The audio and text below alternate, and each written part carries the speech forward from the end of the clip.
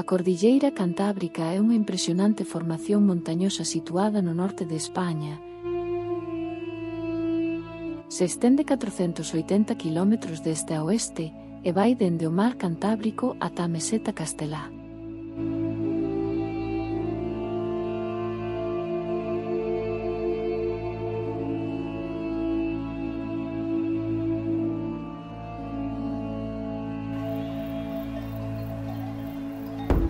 No cumio da majestuosa cordilleira cantábrica, os mastíns vixían incansablemente o gando que vive nestas fermosísimas terras salvaxes.